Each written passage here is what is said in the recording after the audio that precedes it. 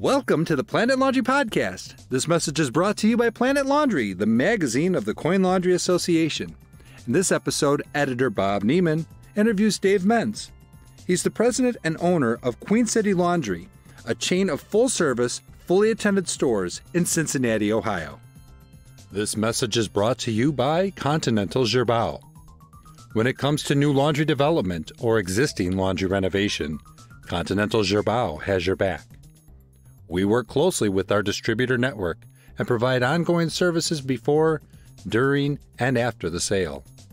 We help evaluate potential laundry locations, conceptualize your laundry's equipment mix and amenities, develop a pro forma cash flow summary, and once your financing is approved, assist with laundry development, signage, marketing, and technical services. At Continental, we have your back now and into the future. Today I'm with Dave Menz, uh, a 12 year veteran of the laundromat industry. Uh, Dave is currently the owner of Queen City Laundry, uh, a chain of full service, fully attended laundromats in the Cincinnati market. Uh, Dave, I know you're a super busy guy and I really appreciate your time today. Thanks for being with us. Sure. Yeah, appreciate you having me, Bob. Absolutely. Well, let me. Uh, I know you've been in the in the industry for quite a while. Uh, can you let's take it back to maybe 2009, I believe, when you entered the business. Um, how did you get involved uh, in the laundromat industry? How did that uh, all come about? Well, I you know I like to tell people it was kind of dumb luck. um, you know, I, I was a passionate entrepreneur from a very young age. Um, but I was never really prepared to own a business. You know, as I became an adult, I had a desire to own a business, but I wasn't really prepared. I didn't even know what that looked like, to be honest. Uh-huh. And in my late 20s, I started to kind of take it, you know, my dream real seriously. And so I realized, um, you know, no one's going to come along and, and give me these opportunities. I have to be prepared and take them. And so me and my wife took pretty seriously the fact that we needed to start preparing for an opportunity that was coming in the future that we didn't even know what it would look like. Mm-hmm. And so we, we spent several years living well below our means with our, you know, full-time corporate jobs and saving for that opportunity. And uh, long story short, we eventually, you know, took that nest egg that we saved over time, and uh, we bought a local laundromat near my house that was, believe it or not, it was losing money. Um, really? And we, we turned it we turned it around, made mm-hmm. it profitable, mm-hmm. and uh, you know turned it turned it into a community asset. And so uh, that's that's kind of the quick version of how we got into the industry. It was, you know, a lot of people that get in the industry, they, I've I've learned that they're they're fascinated and, and looking into laundromats.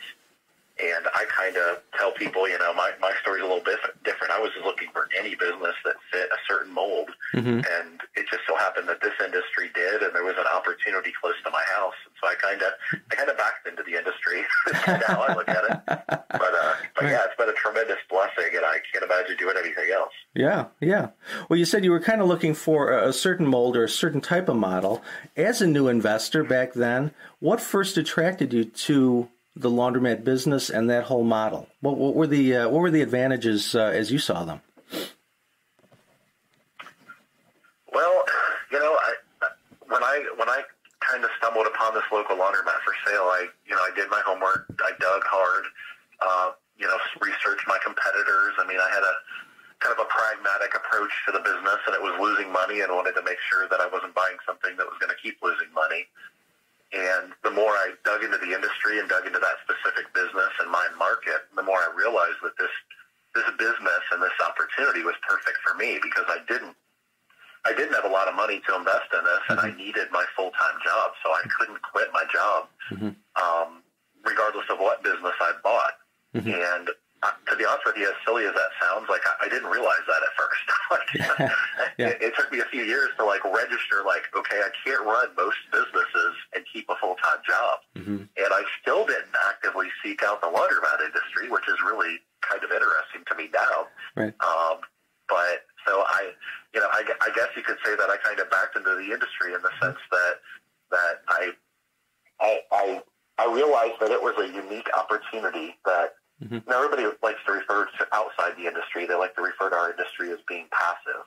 And we all know that it's not fully passive, but it is semi-passive. Mm-hmm. And I think ultimately that was the thing that was attracted me to it is because I needed something that, that I could do around my job, at least temporarily. And that, that, that hit that mark for me. Perfect. Very good. Very good. Well, I, know, uh, or at least I've read that you, you refer to yourself as a laundromat rags to riches story. Can you tell me about that and what you actually mean by yeah. by that? Yeah. Um, well, I, you know, one of the things I've become really passionate about after I found some levels of success in our industry is I'm I'm passionate about the industry, but I'm also passionate about reaching out and inspiring others mm-hmm. uh, because so many inspired me. And um, so that's a, that's a part of me, kind of why I'm telling that story. But the the really quick version is that I, I grew up really poor um, from birth in poverty, mm-hmm. um, and lived most of my childhood in my hometown of Flint, Michigan, which is okay. now known for the water crisis, but it's definitely not a uh, not a thriving town. It hasn't been for 40 years. Mm-hmm. Mm-hmm. And I was to be honest with you, I was never really very good at school. You know, I, had a terrible memory. Mm-hmm. Uh, just yeah. naturally, some people have good memories. I didn't. Yeah. Um, this was a huge, huge disadvantage to me in life, um, as far as school and things like that. But I learned really young that I was and am very stubborn, mm-hmm. and I'm very driven. Mm-hmm. So I never really bought into the kind of the victim mentality that is, you know, often taught in the world of poverty. Mm-hmm. Um, and so I just simply believe that if others could do it, then why couldn't I? That mm-hmm. I could find success in my own way. Unfortunately, because I wasn't good at school, um, I hated it, and I was pretty disinterested, and I didn't mm-hmm. cause problems. I just wasn't interested. Right. And so this led to a lot of adults and teachers, you know, telling me that you know I'd never amount to anything without mm. good grades and a college degree. Mm. And that, that kind of drove me further because my ambitions, my grit, my stubbornness, I knew I would be successful. I had no idea how, but I knew that I would be because I wouldn't settle for anything less. And I believed if anyone in the world was successful without a college degree and good grades, then if they could do it, why couldn't I?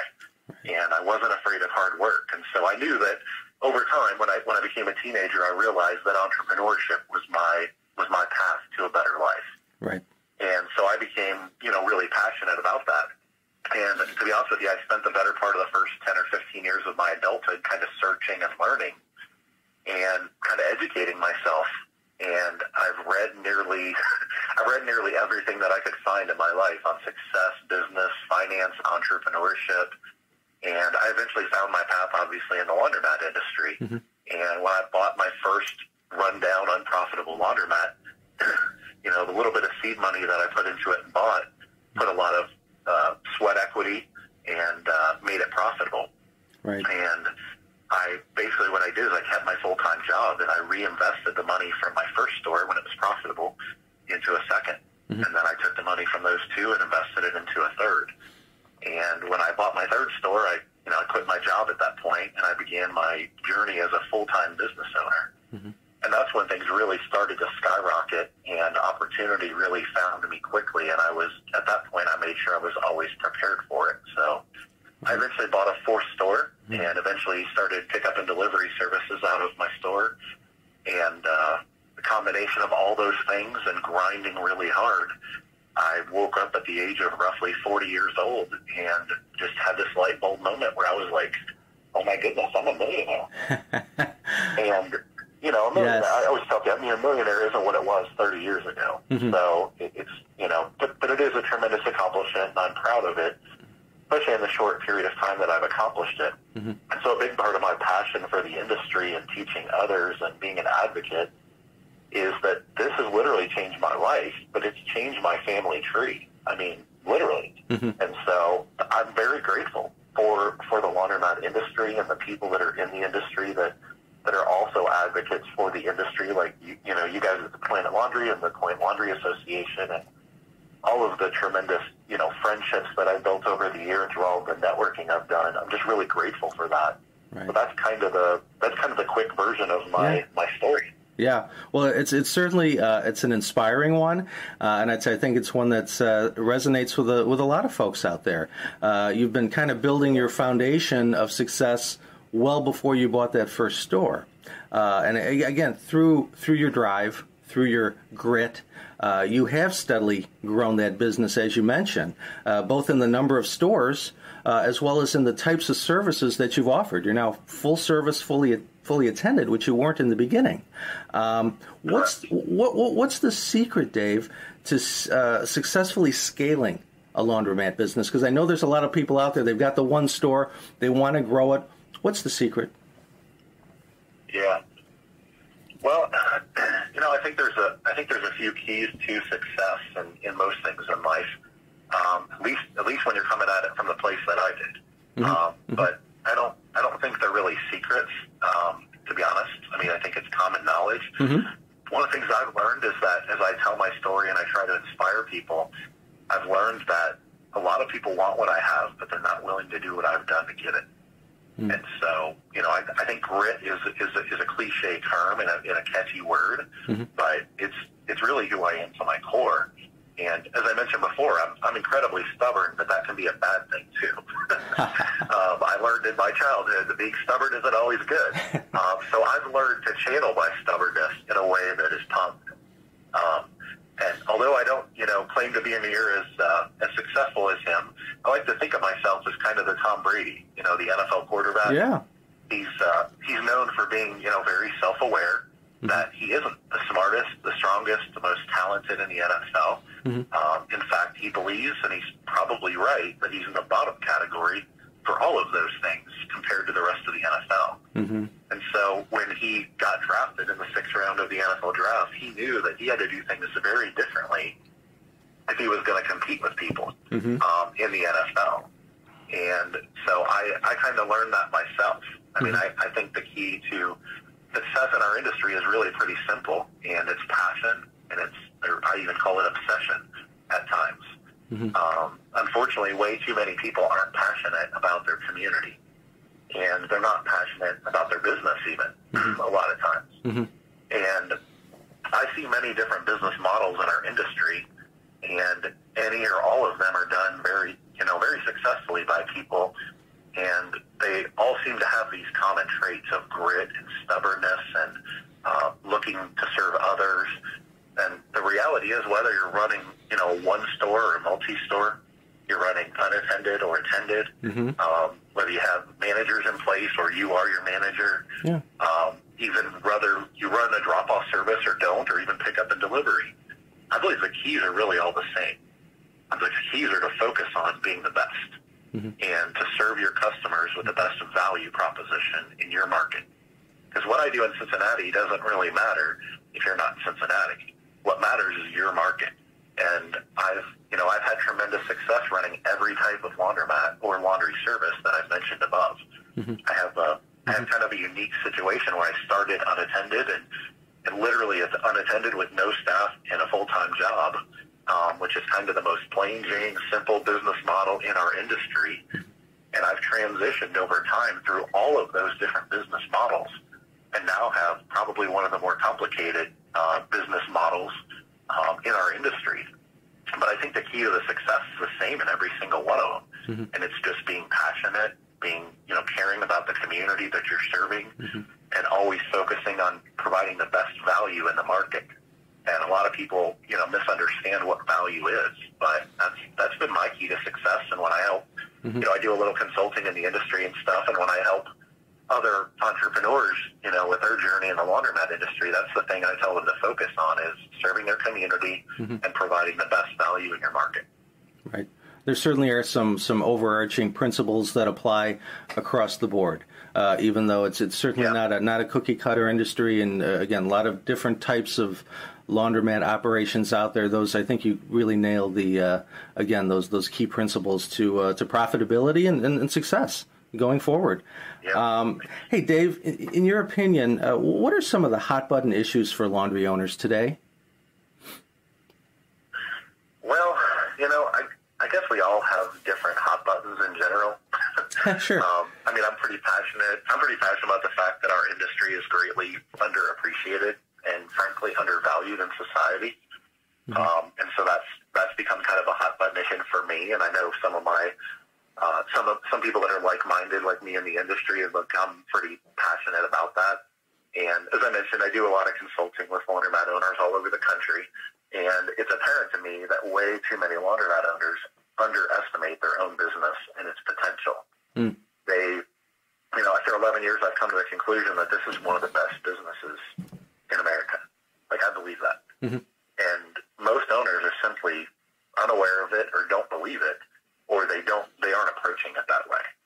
And so a big part of what I try to do with my consulting and stuff is just to show them the opportunity because a lot of times they buy or have bought the belief from society that we're quote unquote just a laundromat. Mm-hmm. Um, Mhm. And so that's that's something that's kind of a hot button issue for me, and I think it is for a lot of people that are operating at the top of the industry, Mm-hmm. And they see other people operating at different levels of the industry that, that quite frankly are good people. They have good intentions. They want to be great. They just don't understand the opportunity. And so a big part of why I've kind of become an advocate for the industry in the last few years is because I believe that it's really just a matter of education. Mhm. Um, you know, I don't, I don't believe that there are people in our industry. I'm sure there's a few, but I don't believe that most people in our industry um, aren't interested in operating at the top of the industry. I think it's a matter of they don't understand the opportunity, or sometimes they understand the opportunity and they just don't understand how to do it, how to execute. Um, so I don't know if that makes sense, but there's there's other hot button issues like uh, equipment replacement. You Mhm. know, for Mhm. example, uh, that's most laundromat owners believe that they they can't afford to invest in their business, to reinvest in their business by replacing their equipment or having modernized payment systems. They they simply don't realize that these things will almost always pay for themselves Right. in increased spend prices, increased gross sales, and yes, increased margins. Mm-hmm. So Mhm. I guess what I guess what I'm really saying is that I really believe most of the industry sell this industry short, including themselves. Right. And I'm determined to do something about it, Bob. I am. I mean, I guess it's my Right. stubbornness. I know that I'm. I know that I'm one person, Mhm. um, but I do believe that one person can make a difference slowly but surely. Mhm. And I'm very passionate about the fact that there's other people that are as passionate as me about these things. Mm-hmm. And so, a part of what I'm trying to do now in my my laundromat journey is to continue to operate my team at the top of the industry. But I'm also pretty passionate about um, networking and collaborating with the the other like-minded people in our in our industry who see the opportunity that we have in front of us Right. and want to take the industry to a different level. Mhm. So I'm not under the illusion I'm doing it by myself, um, but I want to find those people. And so a part of me, you know, reaching out to do things like this podcast is I want to get the word out there that this is who Dave Menz is. This is what I believe. This is one of the things I'm really passionate about because I do know some people Mhm. um, in the industry, and we've built great relationships and friendships based on being that like-minded. But I know for a fact that there's probably thousands of more people out there that that are nodding their heads right now as they're hearing me say these things, and I want to know them. I want to know them. I want to work with them. Um, I want to be a, a mutual, you know, collaborative effort for the industry, and it. I don't believe it has to be super organized. Like we don't need to have a name or anything. Like we could all just be kind of pushing in the same direction. Mm-hmm. And so I've become pretty passionate, you know, about our industry and taking it to another level. Um, so if anyone out there is listening to this that like-minded in that way, you know, I want to meet you. I want to know you. And you know, right now, it, a lot of that involves technology and phone calls, which is fine.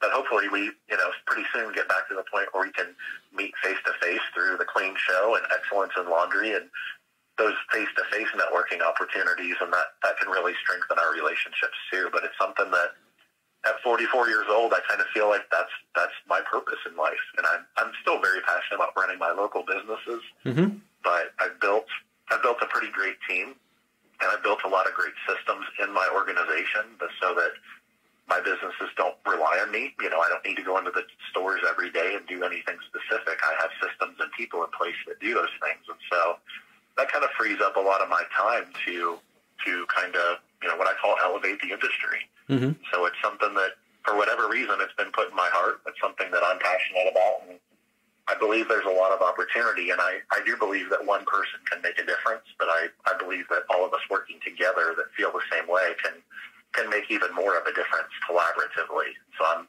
I'm a pretty big advocate for collaboration nowadays. Absolutely. Well, you know, as you've mentioned, you've uh, you- you've certainly been advocating for the industry. You've been uh, doing uh, some consulting in recent years. Um, you know, as you travel around and as you talk to other folks, uh, what are some of the biggest concerns you're hearing from from other store owners and maybe from new investors around the country? Um, what are they concerned about? What's on their mind? Um, you know, I, I think probably the number one concern, and this kind of goes a little bit back to a few things I talked about a minute ago, mm-hmm. is slipping margins. Sure. And profitability. Because the profitability of our industry and the margins in our industry are slipping. And um, that's that's something that we should acknowledge as an industry and say, what can we do to change that? And I believe a lot of that goes back to, you know, as our industry becomes more and more sophisticated, us existing business owners, we have to adapt.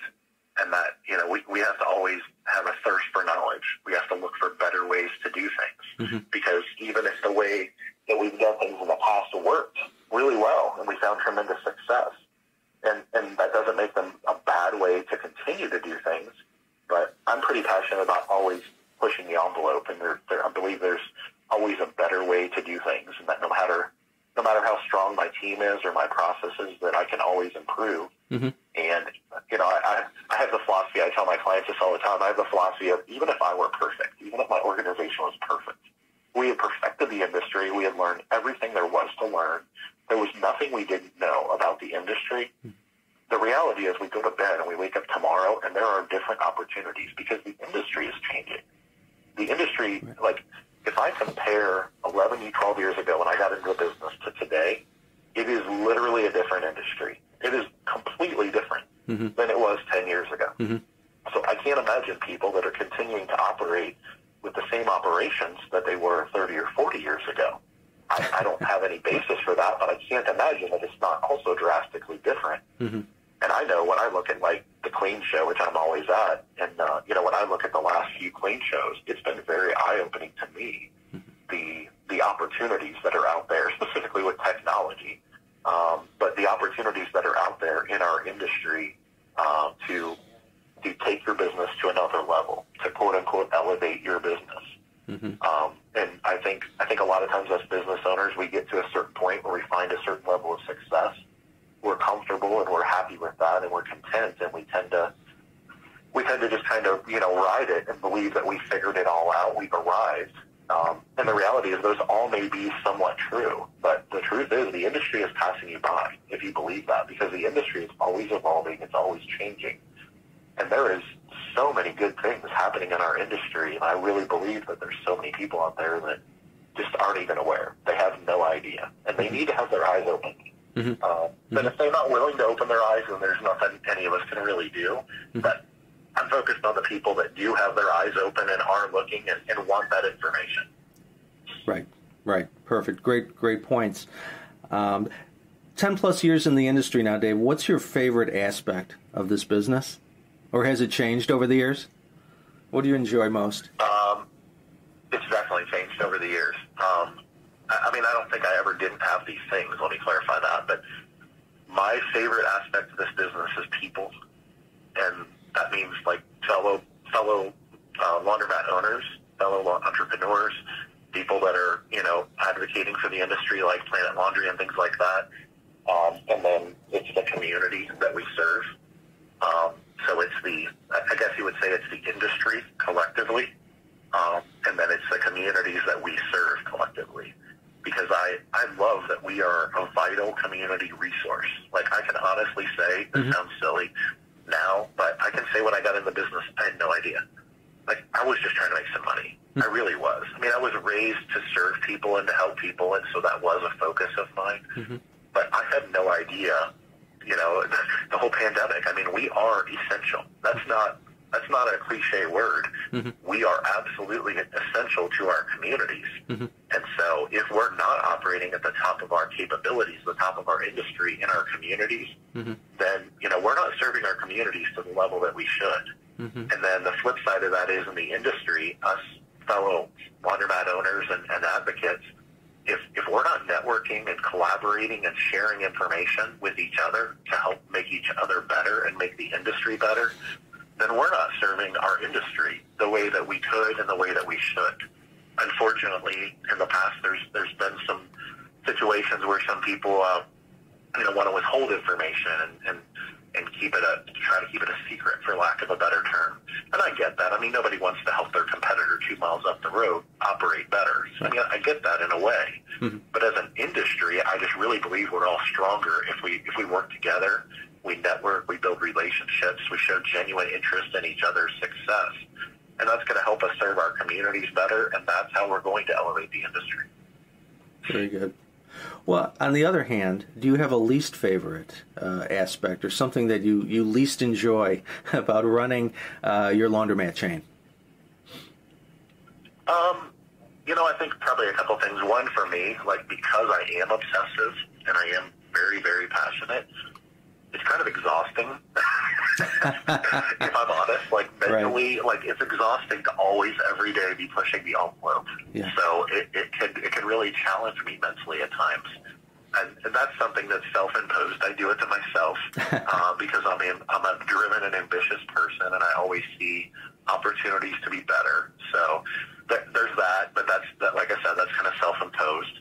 Um, but I think other than that, I think I think my least favorite part of the industry is that the word laundromat has such a negative connotation associated with it in society.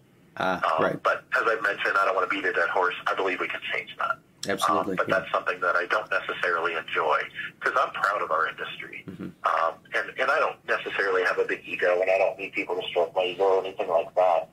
But, you know, I, I do want society to, to learn and understand what great people are in our industry and what kind of service attitudes that they have towards their communities, um, and that we're not just a laundromat.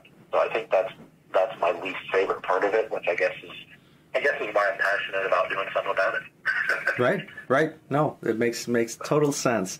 Uh, Dave, you brought up a couple times your your staff and uh, and how uh, yeah. they're really. Um, really a, just a, just a group of rock stars that uh, help you uh, do what you do every day. So uh, for so many owners, staffing and labor is is their biggest hurdle.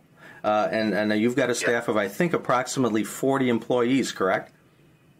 Right. Okay. Can, can you share how you've created and retained uh, like a quality, motivated staff of, of that size? Are there any uh, any yeah. tricks or strategies you can share with other owners who may be struggling? Yeah, there, there's several, and honestly, that could take up a whole podcast by itself. so I'll, I'll try not to get too deep because um, this is also something I'm pretty passionate about. But it's really a passion for people. Mm-hmm. What I mean by that is you know, I came from corporate America. I worked for the local telephone company here in Cincinnati for 17 years before I quit and did my laundromat thing full time. And unfortunately, not just this company specifically, but a lot of large corporate America environments, um, people are just cogs in a machine. They're just numbers. And I don't think that the people at the top intend for it to be that way. I think they just get so big that it just ends up happening, unfortunately. But when I got into business for myself, I was really passionate about you know, I, I didn't know anyone that liked coming to work. And I worked at a fairly large company. Mm-hmm. Um, they liked the money, they liked the benefits, you know, but they, they didn't really like the environment, the culture. Um, and they certainly didn't feel um, valued. And so I was, I decided when I got into business for myself, whether I had one, five, or 20 employees, that I never wanted them to feel that way. And I wanted to do everything I could to avoid it.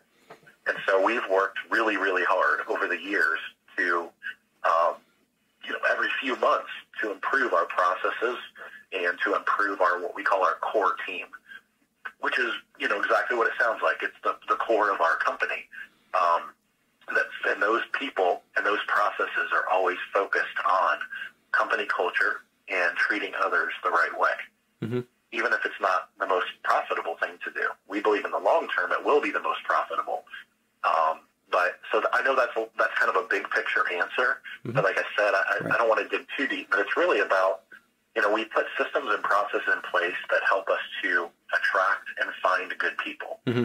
And a, a quick tip on that is we work with a local staffing agency that's a actually a national franchise. but they have a location here in Cincinnati, and we've learned a lot from them because staffing is their expertise. And so I've kind of networked and buddied up with them to learn their business. And in turn, we also have contracted and hired them to do some hiring for us. And so we've learned a lot from them about, about the process of like compensation, for example. Mm-hmm. And one of the things they taught me real quickly was like when us laundromat owners are looking for store attendants, um, that's kind of an entry level position in most situations. Mm-hmm. And so a lot of people think, well, entry level position, I want to pay minimum wage. Whatever minimum wage is, that's what I'm going to pay. And the reality is that if you pay minimum wage, then you're competing with the bottom labor pool. Mm-hmm. And if you pay slightly above, you're still compare, competing with the bottom of the labor pool. Mhm. So one of the things they taught me is that in almost any environment, minimum wage is what it is. It's relative. That if you compensate your entry level employees at roughly three dollars an hour above the minimum wage, then you're going to find and attract uh what they call a second tier labor pool. Mhm. So you're not going to be competing with those fast food restaurants and that that bottom tier labor pool. You're you're obviously not going to be attracting people with an MBA or something, but mm-hmm. you're going to you're that next tier up. And what mm-hmm. they've explained to me is there's typically a huge difference in the quality of employee you get mm-hmm. as far as their attitude, their reliability, their caring of other people, their their lack of selfishness. Mhm.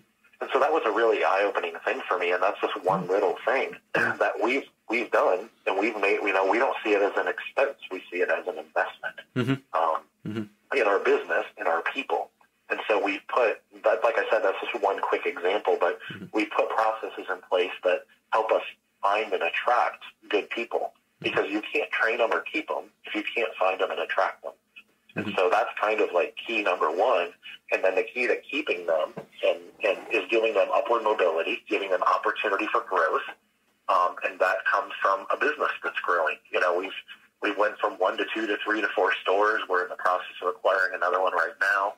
We didn't used to do drop off, but now we do, which creates a new revenue stream, which creates an opportunity for bonuses. Um, we've added trainers, and then we added our pickup and delivery business, which has just exploded. Um, and the pickup and delivery business alone has probably 16 or 17 of our employees um, on that side of the business. And so that gives people an opportunity for upward mobility or even sometimes lateral mobility where they, you know, maybe they like what they, they're okay with what they make, but they're not real crazy about what they do. It gives people opportunities and gives them options. And so we've kind of, overall, we've tried to create this culture where one, our people know we care about them. One, we compensate them at what we consider to be the top of the industry um, so that we're attracting a different level of employee. And then once they reach there, our core team is always focused on our culture and how not only we treat our customers, but how we treat each other. Uh, because we don't want to be a culture where people don't feel valued. We want to be a business that values people, meaning values our customers, and they know it, but also values our, our team. And so when you attract the right people and you compensate them fairly, um, and then you create a culture where they want to work, where they enjoy coming to work, they enjoy their coworkers, um, it, it, it kind of takes care of itself. So I don't, I don't, I don't think I end up giving you a short answer. so I apologize. No, no, Uh, but that's that's actually a really big deal. It's a really, really big deal, and it is.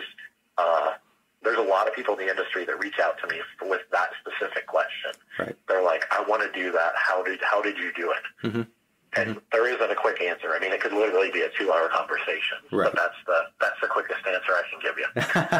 I, I appreciate your brevity, um, but yeah, it's uh, it's certainly. I think you, you hit it on the head when you said that uh, you know the, the, your employees and, your- and your and your your workforce are uh, your investment, and you need to treat it as an investment uh, in your business and in your success. And uh, I appreciate the uh, the responses on that. Hey, Dave, with everything else you have going on, uh, you have a book coming out later this year. Uh, it's going to be called Laund- Laundromat Millionaire. Congratulations. right. Yeah. Thank you. Appreciate that. Uh, how, how does it feel to be an author? Well, I, uh, you know, it, it's it's also one of those things that I never saw myself doing. Um, but years ago, I just realized that, you know, kind of like my consulting, I just realized that I was put in this position. I have this story to tell, and um, it's on my heart to tell it. And so I don't claim to be the most polished author, um, but you know, I'm, I'm I'm telling my story, putting it on paper, and then I'm hiring some people that can make it professional. So- so so- hopefully it'll be a, a nice finished product that can really inspire um, a lot of people. Obviously, it's going to hopefully impact our industry more than anything. But I'm I'm trying to you know write it in a context of that that whole like rags to riches success story, and the the key components that that I see as kind of my um, my cracking the code, you know, my ace in the holes, if you will, which is obviously not just one. And so a lot of what is, is going to be in the book is going to really um, it could potentially cover a lot of different industries. It's going to talk about my specific journey mm-hmm. in the laundromat industry, the specific things that I did to get to where I am. Um, and, and some of them are pretty, pretty drastic, quite frankly. It goes back to, you know, a, a lot of people want, want to accomplish great things, but then when they talk to people that have accomplished great things, they realize, oh, I don't, I don't, I don't know if I want to, if I'm willing to do that. Right. Um, right. But so it, it's really, it's really just about, once again, it's about um, elevating our industry.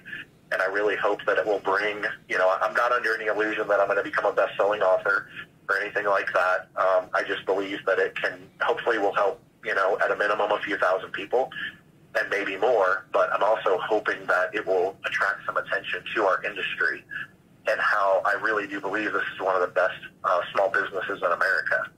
And so I'm hoping that it helps my fellow laundromat owners, and I know a lot of them have already said they'll buy it and read it, um, which is great. I hope it genuinely helps them, but I also hope it inspires a lot of people that are outside the industry that maybe are interested in the industry or um, never considered the industry, but then maybe come across this book and it, it, it attracts them to the industry and they see what a tremendous opportunity there is. Mm-hmm. But then I'm also hopeful that it's going to inspire people that maybe aren't going to get into our industry, but it's going to inspire the, what I call 10-year-old Dave Menz. Um, maybe not attract them to our industry specifically, but just be an insp- inspirational story to uh, kids or even adults out there who you know, maybe have given up on their dreams and shouldn't have. Mm-hmm. Um, mm-hmm. And and I know that sounds like a that sounds like a lot to ask of a book, but I, I'm not I'm not suggesting how big or small I, think I think I'll be able to accomplish those things. But what I'm really saying is that's the motivation behind the book. Um, so my attitude's pretty simple. If it helps 50 people, it's mm-hmm. worth doing. Mm-hmm. It's worth telling my story. Mm-hmm. And if it helps 5,000 people or 500,000 people, that's even better. So that's uh, that's that's what I'm. That's my focus. That's my passion. That's what mm-hmm. I'm looking to do with the book. So mm-hmm. I'm, I'm hoping that it will do those things. So, tell me about the title and how you arrived at that. Yeah, that's that's kind of uh, I've taken some heat for that. It's Always provocative. I've taken some heat. yeah, well, it's provocative, and the funny thing is that's not my nature. Like I'm very blunt. Like I'm not a I'm not a marketing you know smooth. I'm not a smooth guy and I'm certainly not a provocative person, at least intentionally. Um, but basically, what happened is I, um, I had the opportunity to tell my story um, on an international podcast. It's called Bigger Pockets, mm-hmm. and it, they have a really big following. And it's a, it's primarily a real estate uh, organization, if you will, but they've got a business aspect to them. And they kind of found out about my story, and they approached me and wanted to do a podcast on my story. And I said, sure, I'll tell my story. And during the process of telling this story, it was a pretty lengthy interview. During the process of telling my journey and my story and my passions and things like that, they referred to me as the laundromat millionaire mm. because they're they're a business podcast, so they you know they're not industry specific like you and I are, mm-hmm. and so I was just the guy that became a millionaire through laundromats, right. and so they they just like off the cuff referred to me as the laundromat millionaire. Mm-hmm. And the podcast was, you know, they have a really big following, and so I got a lot of uh, publicity and a lot of attention from it. And I was able to, I think, do a lot of good for the industry and talked to a ton of people about the laundromat industry and how great it is and how they should pursue it and all these things.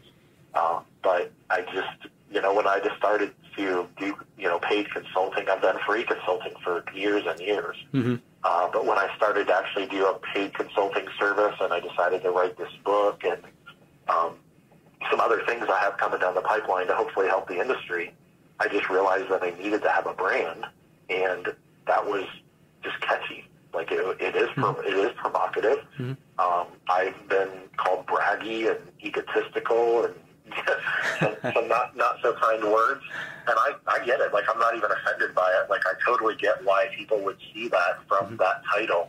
Um, it, it, it, it does come across very braggy.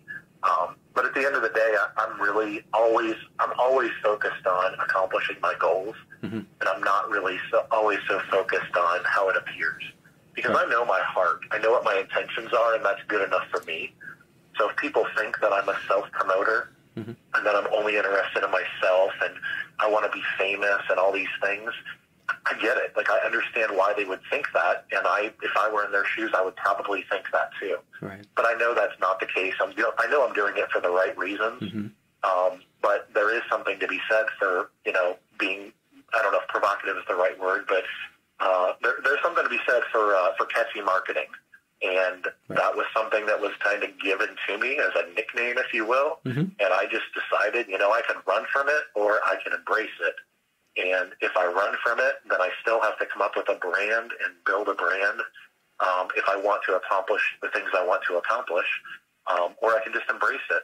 Say, you know what, there's going to be some negative with with embracing this brand, this name, um, and I just I just accept that for what it is.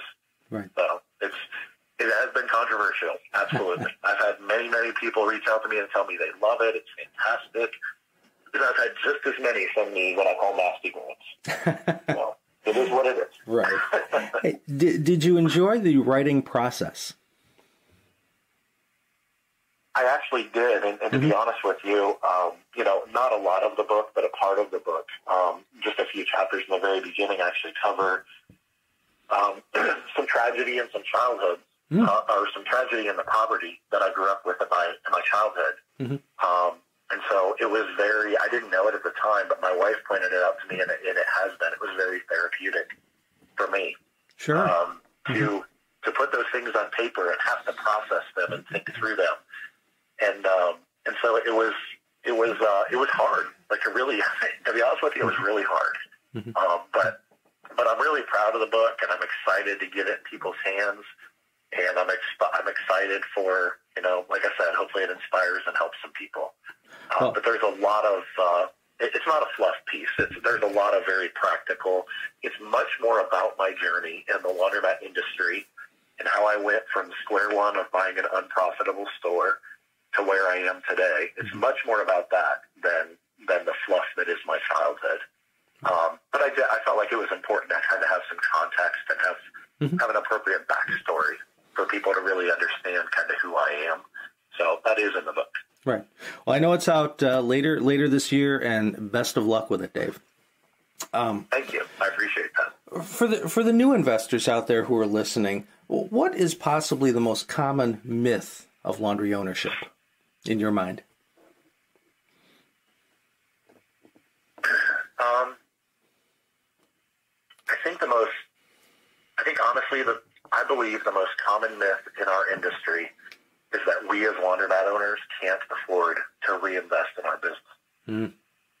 My my success in this industry is directly correlated to my constant and obsessive reinvesting mm-hmm. and always seeking to to have my businesses be better tomorrow than they were yesterday um, in every aspect of my business. and some of those are just a matter of effort. They're not a matter of finance. They're not a matter of investing money. But many of those things are a matter of investing money. And when you're in my situation and you don't have the money, then you have to borrow it. And so there's a risk associated with leveraging yourself and borrowing money to invest in your business to take it to another level and hoping that that investment is going to pay off tenfold. And luckily for me, it has.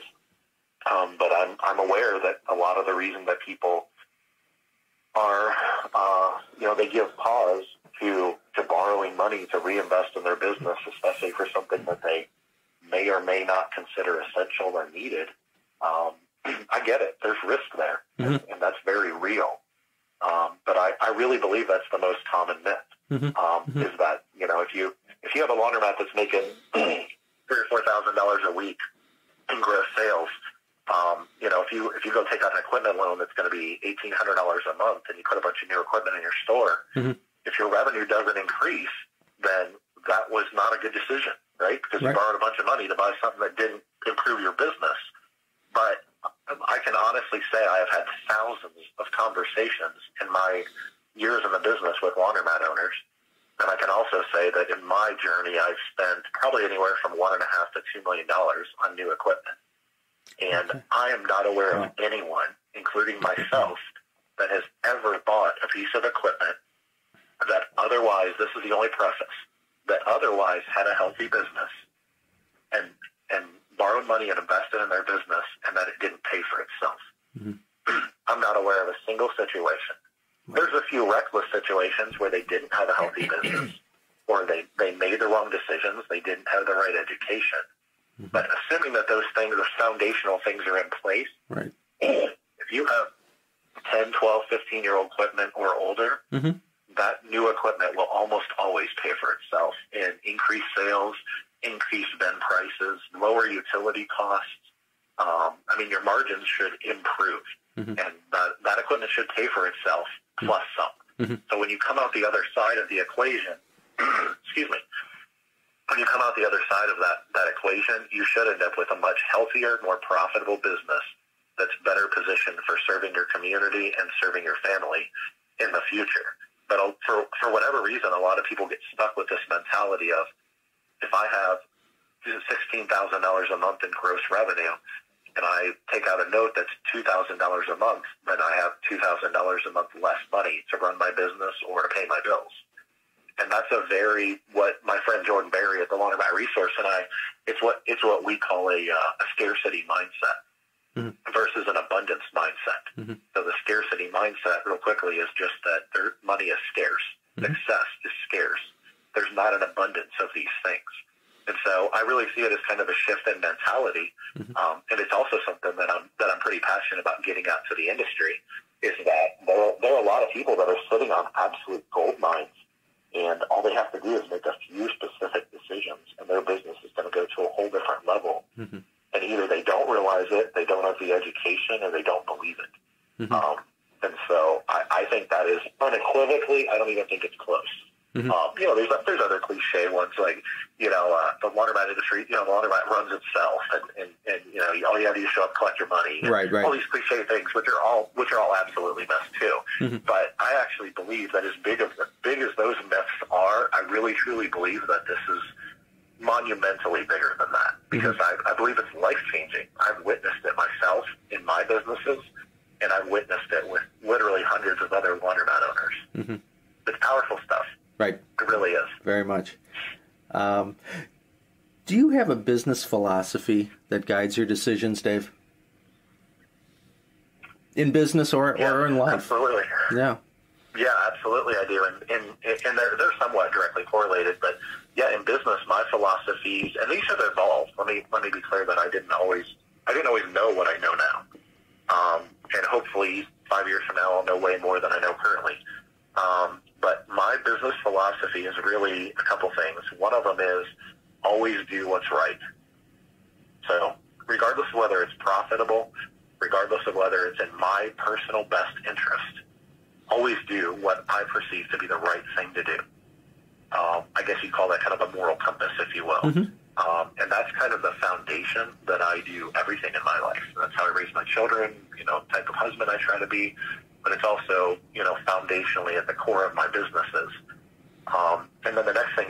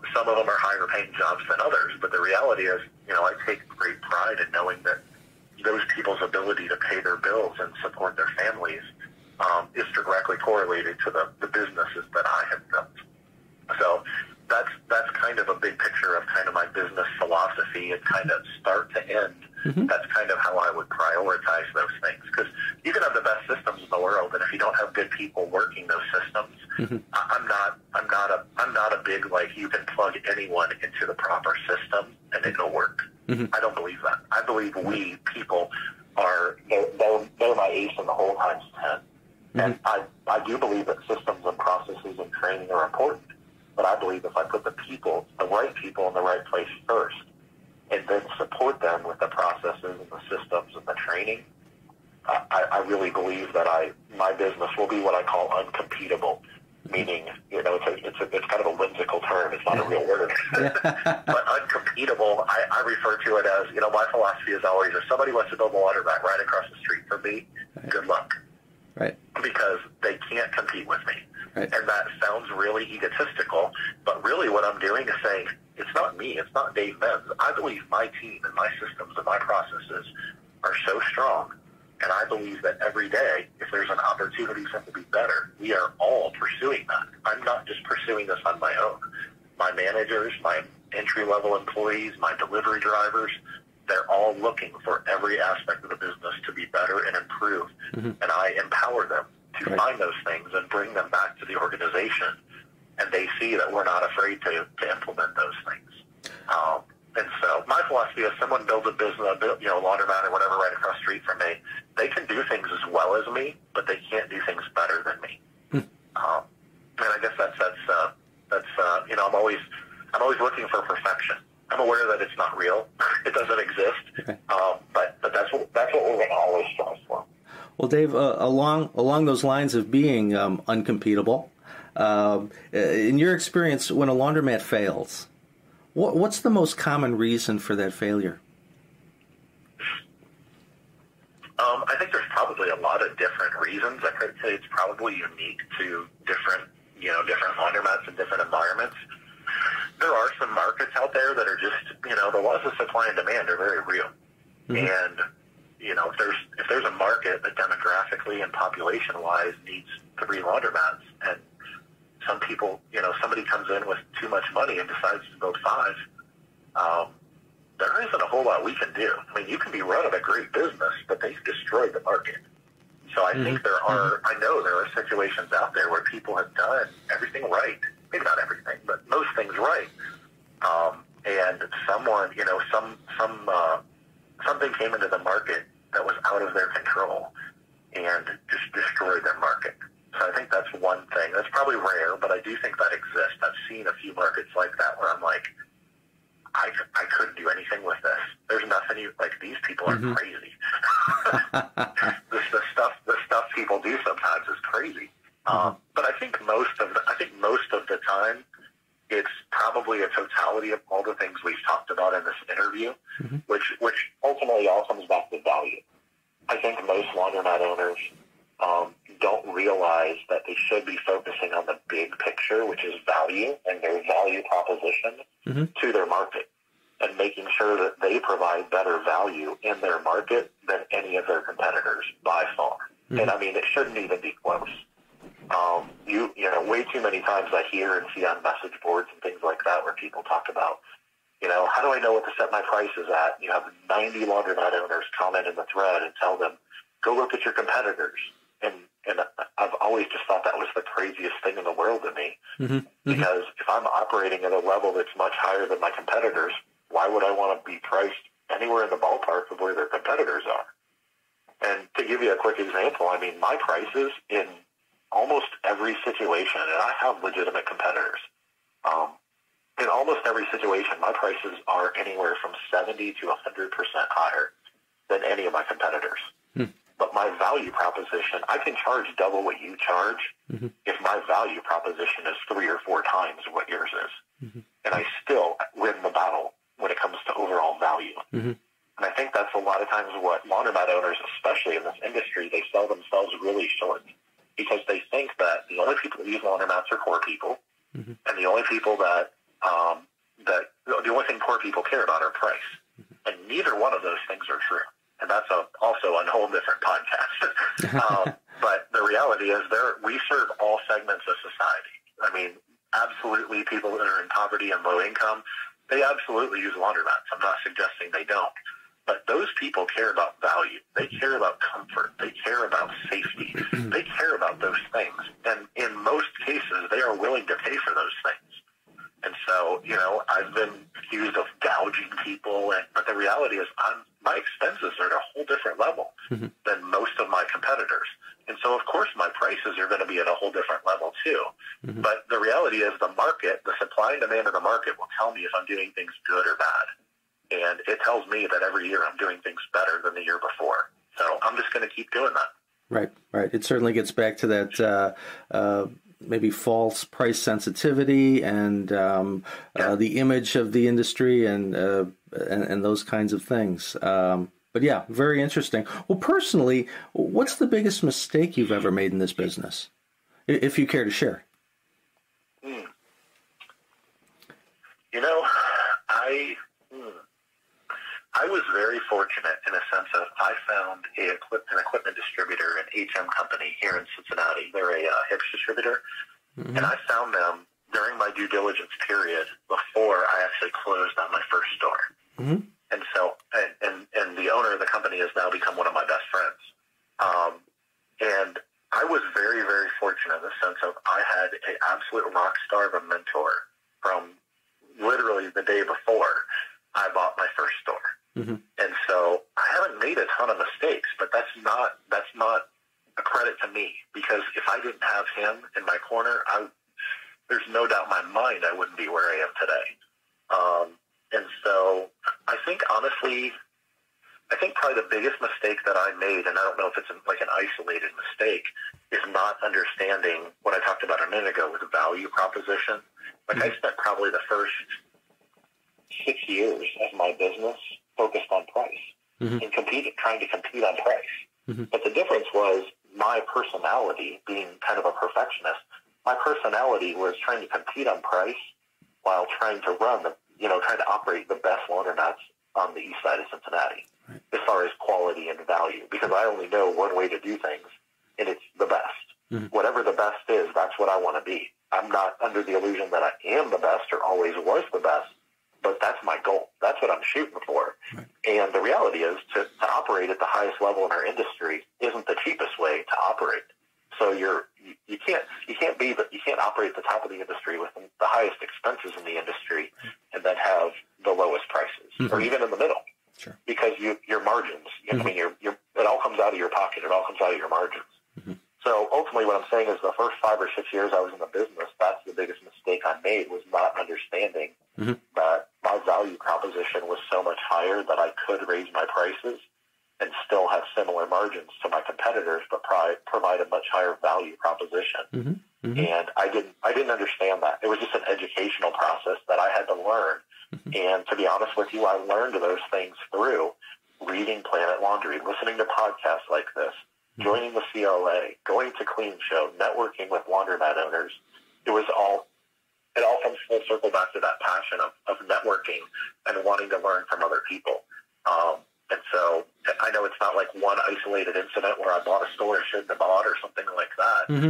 Uh, but that, I mean, that it was life changing when I figured that out. When I cracked that code, mm-hmm. everything changed. Right. It's so I think that's probably the biggest mistake that I that I ever made. Yeah, it, it's all part of the natural, I guess, evolution and, and as you say, education of yourself as a laundry owner. And I think uh, probably most owners uh, kind of go through that, through that change. Sure. Uh, who, who, do you turn to for business advice? You've given us a lot of advice uh, today. Uh, who do you turn to?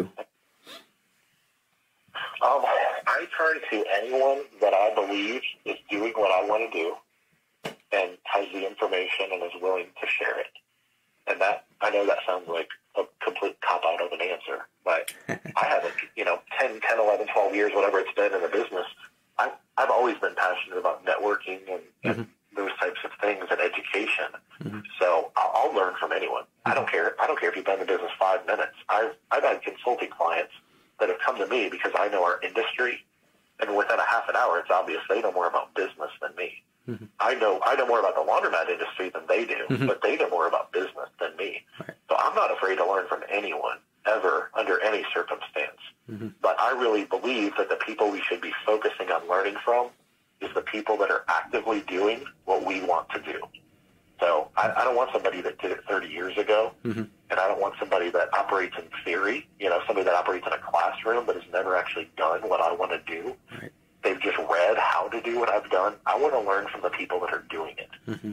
And I think that's why I'm, I'm such a big advocate for, you know, organizations like the CLA and networking with my fellow laundromat owners. Mm-hmm. Is because these are people that are doing it every single day. Right. And we're all collaborating and sharing information. I know that's what's best for the industry. And I've learned over time that that's, that's the best way to learn. Mm-hmm. There is not a better education out there than going to someone that is doing what you want to do mm-hmm. really well at a high level and learning from them. And that's actually why I started my consulting business. It wasn't because I needed more money or an extra revenue stream. Um, I did it because I needed to limit, you know, my time. I don't spend a whole lot of time doing consulting, um, but I am passionate about helping people that come to me, and I see that we're like-minded and have a good fit, and that I can really bring them a tremendous value. Um, and so that's that's that's that's where I would come at it from. Right, right. Well, we are at the beginning of a new year. Uh, thank goodness. Uh, what what are, what are what are your New Year's resolutions uh, for your business in 2021? Do you make any? Do you have any? Um, you know, I'm not really a New Year's resolution kind of guy in the in the stereotypical sense. Okay, goals. Um, so I don't, you know, at the, at the, at the end of the year, I don't come up with specific uh, specific resolutions to change. Mm-hmm. But um, my my goal or my goals in 2021 which I've probably beat as a you know to a dead horse at this point. My goal is to bring value to the industry because I have great businesses. They have awesome people behind them. I'm going to continue to operate them and run them and be involved in them, but I don't spend 40 hours a week in my business. Mm-hmm. And I've, I've just realized that there's a need, and I've realized that I'm in a position where I can be a part of the solution of taking our industry to another level. So a big part of my focus for 2021, I mean, I have excuse me, I have a YouTube channel under the Laundromat Millionaire name. Um, I have the book coming out and some things like that. Um, and I just want to continue to meet more people and get to know more people and network with more people and hopefully help more people. so those aren't any one specific goal, but like my YouTube for a channel, my YouTube channel, for example, it's not, I'm not focused on monetizing it, which a lot of people do. Mm-hmm. I'm just focused on helping people and growing my subscribers. Mm-hmm. Mm-hmm. And so, but the, my my philosophy is, if I have a thousand people follow my YouTube channel, hopefully that's a thousand people that are watching my videos. Right. And if I if I spend two, three, four hours putting together a video and I put it out, my philosophy is that time that I invested in that can pay dividends forever. Mm-hmm. Because if I'm consulting one on one with a client, you know, I have to spend an hour on the phone with them to help them for an hour. But if I put out books and videos and things like that, then I can help people in perpetuity. And so I don't know how many people those those videos on my YouTube channel are going to help. But I just know that if people don't know about my channel, they don't know that I'm doing this, and that I just have the heart of a teacher and just want to help people, and I'm not focused on you know making money. Um, if they don't know my channel exists, then they can't watch my videos. Is the point.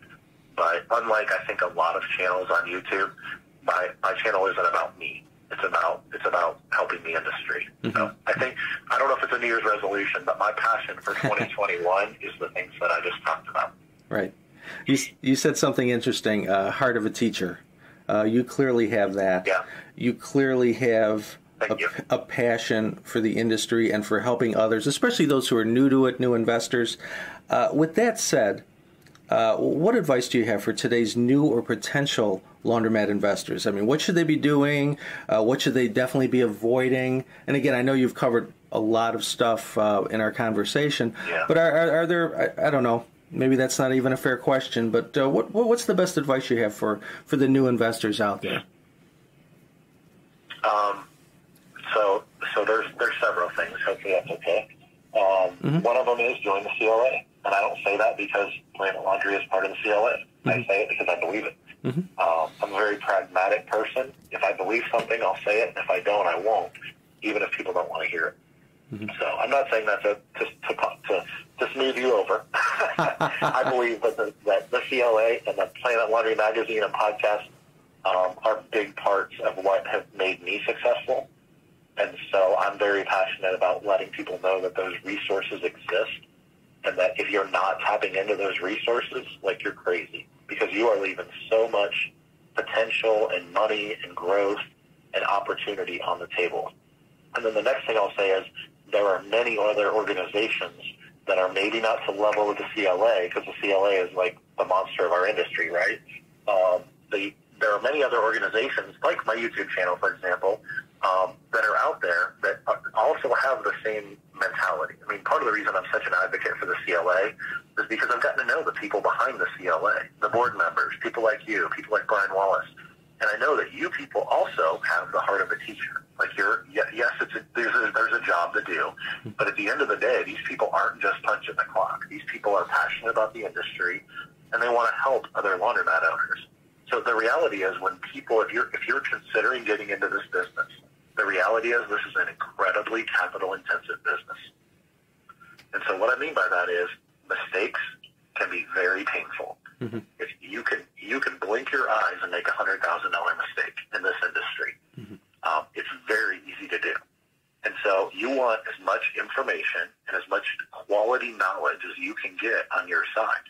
And finding good mentors, hiring good consultants, working with awesome distributors, uh, manufacturers and the resources that they put out there, all those things are powerful things. So, you know, my, my thing is always, I'm a, I'm a totality of everything kind of guy. And when you, when you just are constantly obsessed with gathering information and learning and your own personal education, then yeah, you have to filter through a lot of that. I mean, if you bring in a, you know, 100,000 pages of information, you're going to have to filter through and find the nuggets, find the golden nuggets that are in there and pick those out. But you can't listen to everything everyone says because a lot of people say conflicting things. But for me, at the end of the day, you should find the the uh, communities and the resources that have the best reputations. There's probably a reason for that. Um, and find people that are doing what you want to do. Mm-hmm. I tell people all the time, if you're wanting to do something that I am not actively doing and don't have an experience doing, then I'm not the consultant for you. Like I, that's okay. Like I'm not the guy for you. If you're wanting to go in a different direction than I've gone, that's okay. There are people, I promise you, there are people out there, maybe not paid consulting, but there are people out there in the industry that are doing what you want to do. And I touched on it earlier, how there's kind of, you know, five, six, seven different models um, within our industry, and they can all, you can be very successful within all those models. So find someone and find multiple people that are doing what you want to do, what you believe your, your model is going to be moving forward, and reach out to them. Because very few of very few laundromat owners in the industry won't give you a little bit of time.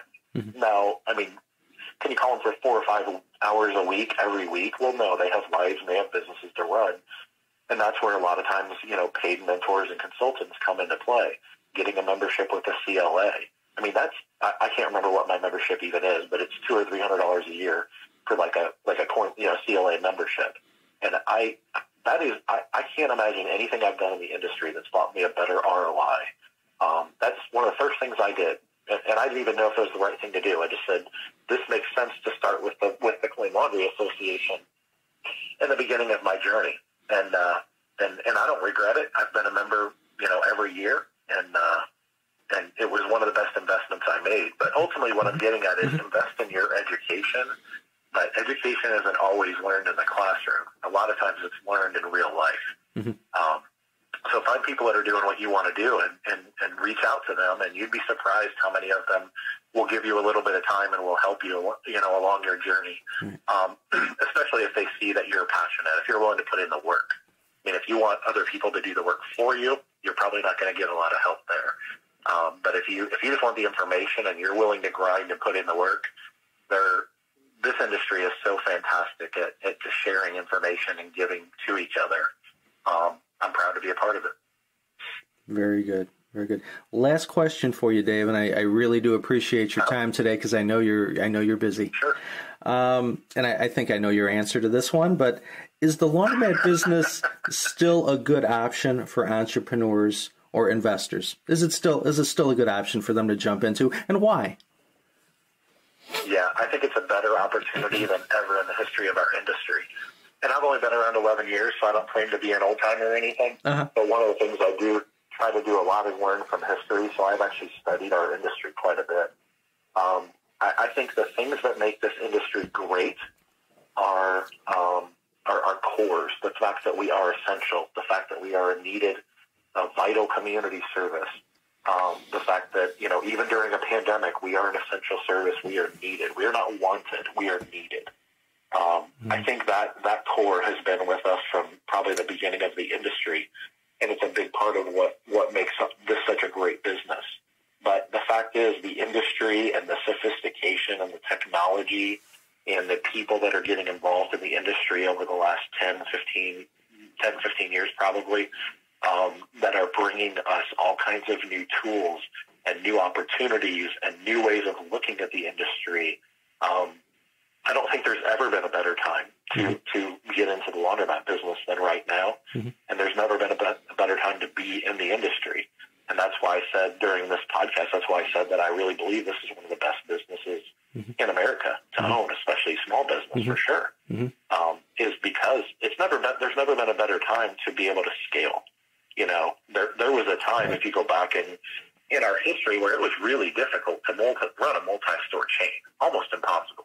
Mm-hmm. Um, because of some of the limitations in our industry. Mm-hmm. And almost all of those have been removed uh, completely. And we have options as far as who we want to deal with and who we want to do business with. And it seems like every year or two we have new options. We have new people coming into the industry and some people see that as a bad thing, but I, I see it as a good thing. I see it as a way of, of our industry growing and evolving. And uh, I always welcome new people to the industry because they always look at our industry through a different lens. And I want to see our industry through their lens because if I do, I'll learn something from them. Um, mm-hmm. So yeah, you, you probably predicted I don't think there's a better business in America to own, and I don't think there's a better time than to own it than right now. Perfect. Hey Dave, thank you. Uh, this has been I've truly enjoyed this uh, this conversation. It's been uh, eye opening for me. Uh, it's been inspiring, uh, and I'm sure that our, our, our listeners uh, will agree with me. So again, thank you for your time, and yeah, loved it. Yeah, thank you so much, Bob. I appreciate it, and uh, if I can ever help you guys out in any way, don't hesitate to reach out. This message is brought to you by Continental Girbau. When it comes to new laundry development or existing laundry renovation, Continental Girbau has your back. We work closely with our distributor network and provide ongoing services before, during, and after the sale. We help evaluate potential laundry locations, conceptualize your laundry's equipment mix and amenities, develop a pro forma cash flow summary, and once your financing is approved, assist with laundry development, signage, marketing, and technical services. At Continental, we have your back now and into the future. Thank you for joining us on our podcast today. Be sure to subscribe to Planet Laundry at